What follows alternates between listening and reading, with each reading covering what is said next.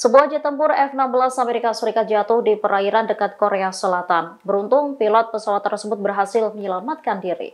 Kecelakaan ini menandai ketiga kalinya sebuah pesawat perang Amerika Serikat jatuh di wilayah tersebut dalam waktu kurang dari setahun. Dikutip dari Rusia Today, seorang pilot pesawat tempur terpaksa meninggalkan jet tempur dan keluar dari pesawat pada Rabu 31 Januari 2024 pagi.